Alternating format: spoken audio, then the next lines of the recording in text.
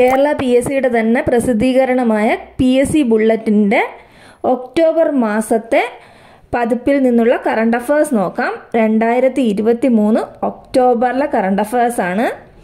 Amsterdam Septimius അവാർഡിൽ മികച്ച Asian നടനുള്ള പുരസ്കാരം ടൊവിനോ തോമസിന്. ആർക്കാണ്? ടൊവിനോയ്ക്കാണ്. ആസ്റ്റർഡാം സെപ്റ്റിമിയസ് അവാർഡിൽ മികച്ച ഏഷ്യൻ നടനുള്ള പുരസ്കാരം. ഏത് പടത്തിനാണ് രണ്ടായിരത്തി പതിനെട്ട് എന്ന ചിത്രത്തിലെ അഭിനയത്തിനാണ് പുരസ്കാരം? അപ്പോൾ ടൊവിനോ തോമസ് രണ്ടായിരത്തി പതിനെട്ട് ചലച്ചിത്രം ഏത് അവാർഡ്?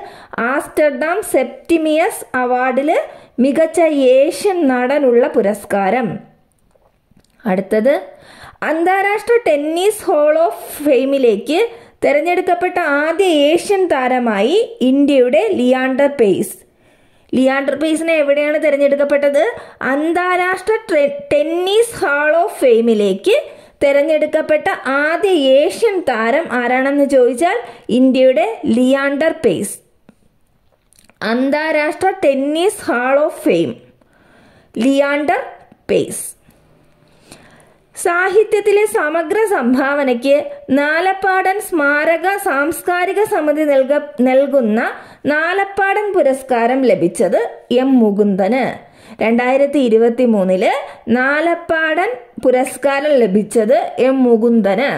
സാഹിത്യത്തിലെ സമഗ്ര സംഭാവനയ്ക്ക് നാലപ്പാടൻ സ്മാരക സാംസ്കാരിക സമിതിയാണ് ഈ അവാർഡ് നൽകുന്നത് നാലപ്പാടൻ പുരസ്കാരം എം മുകുന്ദൻ. അടുത്തത് മാലദ്വീപ് പ്രസിഡന്റായി ചൈനീസ് അനുകൂലി മുഹമ്മദ് മുയിസി മുയിസു തിരഞ്ഞെടുക്കപ്പെട്ടു. ഇപ്പോൾ മാലദ്വീപ് പ്രസിഡന്റ് ആരാണെന്ന് ചോദിച്ചാൽ മുഹമ്മദ് മുയിസു. അദ്ദേഹം ചൈനീസ് അനുകൂലിയാണ്. മാലദ്വീപ് പ്രസിഡന്റ് മുഹമ്മദ് മൂയിസു. മാലദ്വീപിലെ പ്രസിഡന്റായി തിരഞ്ഞെടുക്കപ്പെട്ടത് മുഹമ്മദ് മൂയിസു. അടുത്തത് സി എച്ച് മുഹമ്മദ് ഗോയയുടെ പേരിൽ കുടുംബം ആരംഭിച്ച സി എച്ച് മുഹമ്മദ് ഗോയ ഫൗണ്ടേഷന്റെ പ്രഥമ പുരസ്കാരം ലഭിച്ചത് എം എ യൂസഫ് അലിക്കാണ്. സി എച്ച് മുഹമ്മദ് ഗോയയുടെ പേരിൽ കുടുംബം തന്നെ ആരംഭിച്ച സി എച്ച് മുഹമ്മദ് ഗോയ ഫൗണ്ടേഷന്റെ ആദ്യത്തെ പുരസ്കാരം ലഭിച്ചത് എം എ യൂസഫ് അലിക്കാണ്. നാവികസേനയിൽ ചീഫ് ഓഫ് പേഴ്സണലായി വൈസ് അഡ്മിറൽ കൃഷ്ണസ്വാമിനാഥൻ ചുമതലയേറ്റു. നാവികസേനയിൽ ചീഫ് ഓഫ് പേഴ്സണൽ ആയി വൈസ് അഡ്മിനർ അഡ്മിറൽ ആരാണ്? കൃഷ്ണസ്വാമിനാഥൻ. കൃഷ്ണസ്വാമിനാഥനാണ് കൃഷ്ണ സ്വാമിനാഥനാണ് നാവികസേനയിലെ ഇപ്പോൾ chief of personnel. Krishna Swaminathan സംസ്ഥാന ശാസ്ത്ര ശാസ്ത്ര സാങ്കേതിക പരിസ്ഥിതി കൗൺസിൽ ഏർപ്പെടുത്തിയ രണ്ടായിരത്തി ഇരുപത്തിരണ്ടിലെ കേരള ശാസ്ത്ര പുരസ്കാരത്തിന് അഗ്രോ ഫോറസ്ട്രി വിദഗ്ധനും ഫ്ലോറിഡ സർവകലാശാലയിലെ ഡിസ്റ്റിംഗ്വിഷ് പ്രൊഫസറുമായ പി കെ രാമചന്ദ്രൻ നായർ അർഹനായി. ജസ്റ്റ് അറിഞ്ഞാൽ മതി സംസ്ഥാന ശാസ്ത്ര സാങ്കേതിക പരിസ്ഥിതി കൗൺസിൽ ഏർപ്പെടുത്തിയ പുരസ്കാരമാണ് കേരള ശാസ്ത്ര പുരസ്കാരം. ഈ കേരള ശാസ്ത്ര പുരസ്കാരം രണ്ടായിരത്തി ഇരുപത്തിരണ്ട് നേടിയത് പി കെ രാമചന്ദ്രൻ നായരാണ്. കേരള ശാസ്ത്ര പുരസ്കാരം രണ്ടായിരത്തി ഇരുപത്തിരണ്ട് പി കെ രാമചന്ദ്രൻ നായർ. ഇത് സംസ്ഥാന ശാസ്ത്ര സാങ്കേതിക പരിസ്ഥിതി കൗൺസിൽ ഏർപ്പെടുത്തുന്ന പുരസ്കാരമാണ് കേരള ശാസ്ത്ര പുരസ്കാരം P K Ramachandran Nair. Vikram Sarabhai science ഫൗണ്ടേഷന്റെ പ്രഥമ വിക്രം സാരാഭായ് വിജ്ഞാൻ പുരസ്കാരം I S R chairman S സോമനാഥന്. എന്താണ്? വിക്രം സാരാഭായ് സയൻസ് ഫൗണ്ടേഷന്റെ ആദ്യത്തെ പുരസ്കാരമാണ് വിക്രം സാരാഭായ് വിജ്ഞാൻ പുരസ്കാരം ലഭിച്ചത് ആർക്കാണ്? ഇപ്പോൾ ഇപ്പോഴത്തെ ഐ എസ് ആർ ചെയർമാനായ എസ് സോമനാഥിനാണ് ലഭിച്ചത്. ഇപ്പോഴത്തെ I S R O chairman ആരാണ്? എസ് സോമനാഥ്. ഇദ്ദേഹത്തിനാണ് വിക്രം സാരാഭായ് സയൻസ് ഫൗണ്ടേഷന്റെ പ്രഥമ വിക്രം സാരാഭായ് വിജ്ഞാൻ പുരസ്കാരം ലഭിച്ചത്. വിക്രം സാരാഭായ് വിജ്ഞാൻ പുരസ്കാരം S Somanathan. M K R ഫൗണ്ടേഷന്റെ കർമ്മശ്രേഷ്ഠ കർമ്മ പുരസ്കാരങ്ങൾക്ക് യഥാക്രമം മുതിർന്ന മാധ്യമ പ്രവർത്തകൻ ടി ജെ എസ് ജോർജ് സാമൂഹ്യ പ്രവർത്തക ദയാബായി എന്നിവർ അർഹരായി. അതായത് എം കെ ആർ ഫൗണ്ടേഷന്റെ കർമ്മശ്രേഷ്ഠ പുരസ്കാരം ലഭിച്ചത് ടി ജെ എസ് ജോർജിനും മാധ്യമപ്രവർത്തകനാണ് ഇദ്ദേഹം. അതുപോലെ കർമ്മ പുരസ്കാരം ലഭിച്ചത് ആർക്കാണ് സാമൂഹ്യ പ്രവർത്തകയായ ദയാഭായിക്കുമാണ്.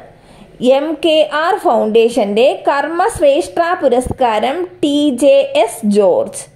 കർമ്മ പുരസ്കാരം സാമൂഹ്യ പ്രവർത്തക ദയാബായി റിലയൻസ് റീറ്റെയിലിന്റെ ഓൺലൈൻ വിപണിയായ ജിയോ മാർട്ടിന്റെ ബ്രാൻഡ് അംബാസിഡറായി ക്രിക്കറ്റ് താരം മഹേന്ദ്ര സിംഗ് ധോണിയെ നിയമിച്ചു. ഇപ്പോൾ അപ്പോൾ റിയൽ റിലയൻസിന്റെ റി- റിലയൻസ് റീറ്റെയിലിന്റെ ഓൺലൈൻ വിപണിയായ ജിയോ മാർട്ടിന്റെ ബ്രാൻഡ് അംബാസിഡർ ആരാണെന്ന് ചോദിച്ചാൽ മഹേന്ദ്ര സിംഗ് ധോണി എം എസ് ധോണിയാണ് ജിയോ മാർട്ടിന്റെ ബ്രാൻഡ് അംബാസിഡർ.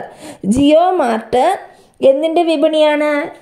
റിലയൻസ് റീറ്റെയിൽസിന്റെ ഓൺലൈൻ വിപണിയാണ് ജിയോ മാർട്ട്. ഈ ജിയോ മാർട്ടിന്റെ ബ്രാൻഡ് അംബാസിഡറായി തിരഞ്ഞെടുക്കപ്പെട്ടത് എം എസ് ധോണിയാണ്. അതുപോലെ ത്രീ ഡി പ്രിന്റിംഗ് ടെക്നോളജി ഉപയോഗിച്ച് നിർമ്മിച്ച കേരളത്തിലെ ആദ്യത്തെ കെട്ടിടമാണ് അമേസ് ട്വന്റി എയ്റ്റ്. ഇത് എവിടെയാണ്? തിരുവനന്തപുരത്ത് ഉദ്ഘാടനം ചെയ്തു.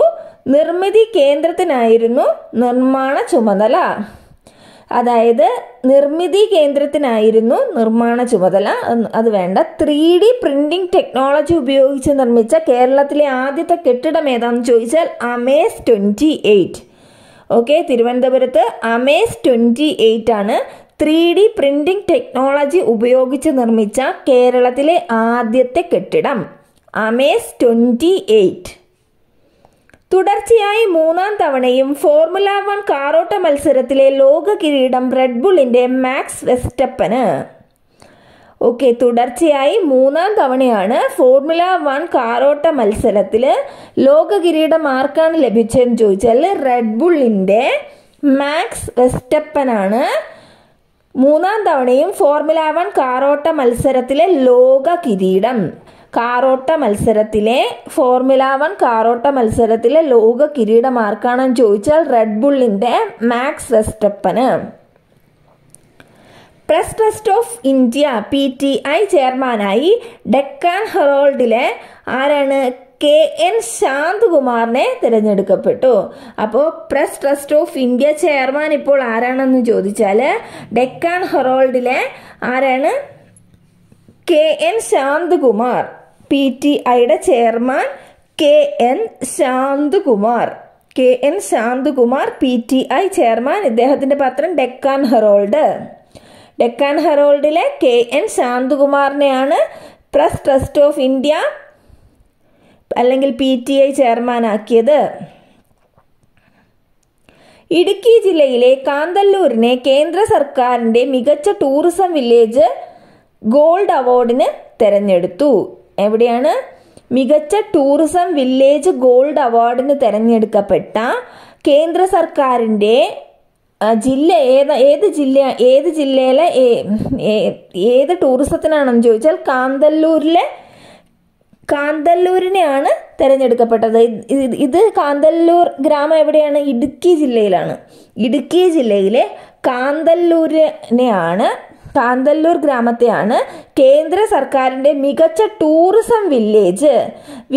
ടൂ- മികച്ച ടൂറിസം വില്ലേജായ ഗോൾഡ് അവാർഡിന് മികച്ച ടൂറിസം വില്ലേജ് ഗോൾഡ് അവാർഡിന് തിരഞ്ഞെടുക്കപ്പെട്ടത് ഇടുക്കി കാന്തല്ലൂർ വില്ലേജ്. ഇടുക്കി ജില്ലയിലെ കാന്തല്ലൂർ വില്ലേജിനെയാണ് കേന്ദ്ര സർക്കാരിന്റെ മികച്ച ടൂറിസം വില്ലേജ് ഗോൾഡ് അവാർഡിന് തിരഞ്ഞെടുത്തത്. കേരള മീഡിയ അക്കാദമിയുടെ ഇന്ത്യൻ മീഡിയ പേഴ്സൺ പുരസ്കാരത്തിന് പ്രഗത്ഭ പങ്ക്തി എഴുത്തുകാരനും ടി വി അവതാരകനുമായ കരൺ ധാപ്പറിനെയും എൻ ഡി ടി വി മുൻ എക്സിക്യൂട്ടീവ് എഡിറ്റർ രവീഷ് കുമാറിനെയും തെരഞ്ഞെടുത്തു.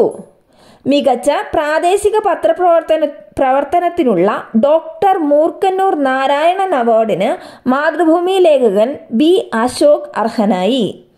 നോക്കാം. കേരള മീഡിയ അക്കാദമിയുടെ ഇന്ത്യൻ മീഡിയ പേഴ്സൺ പുരസ്കാരത്തിന് അർഹരായവർ ആരാണെന്ന് ചോദിച്ചാൽ കരൺ ദാപ്പർ പിന്നെ Ravish Kumar.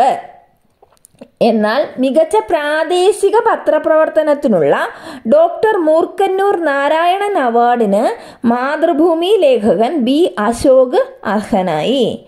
Indian media personal പുരസ്കാരം.